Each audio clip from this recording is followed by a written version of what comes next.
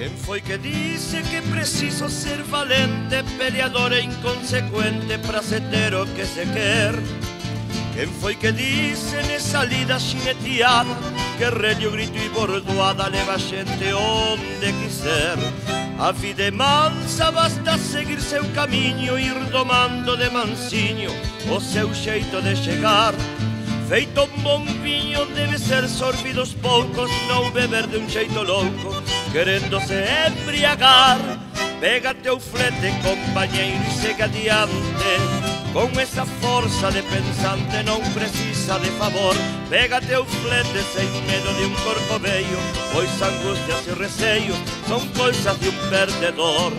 Pega teu flete, companheiro, e segue adiante. Con esa forza de pensante non precisa de favor. Pégate un flete sem medo de un corcoveio Pois angustias e receio son coisas de un perdedor.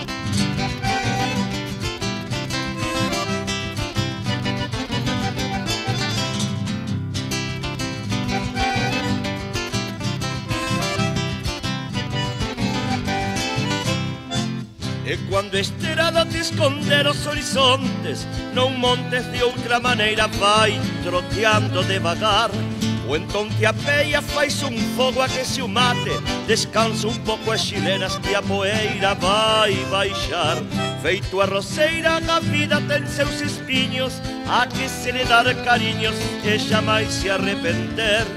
E non te esquezas de regar ben seus canteiros para que um sonho guano inteiro não pare de florescer.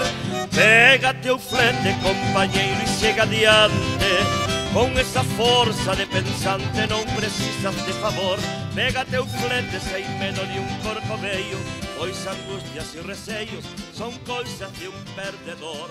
Pega teu flete, companheiro, e sega adiante.